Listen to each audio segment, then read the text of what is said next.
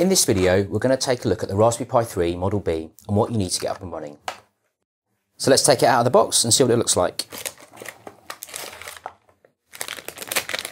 At the heart of the Pi 3 is the new Broadcom BCM2837 chipset, boasting a 64-bit 1.2 GHz quad-core ARM53 processor. This chipset also integrates wireless LAN 802.11 BGN, as well as dual-mode Bluetooth Classic version 4.1 and Bluetooth Smart Low Energy.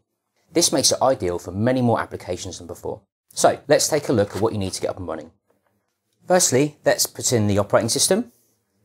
You're going to need to download the latest copy of Noobs, either from the Raspberry Pi website or update the one you have already for your Raspberry Pi 2.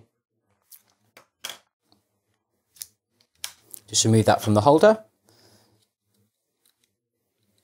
We'll put that in. Next, let's connect up the keyboard and the mouse. Just put this in one of the available USB slots.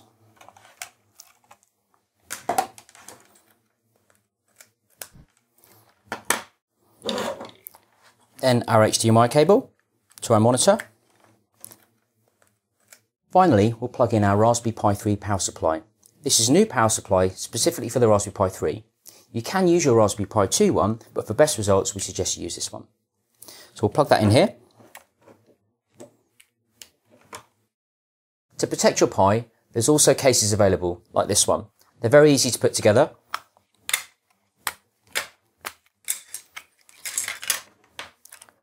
Just pop them in like so.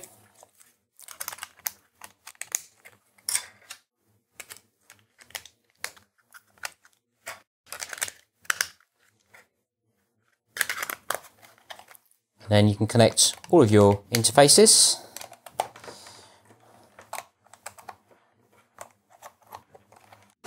And we're ready to go.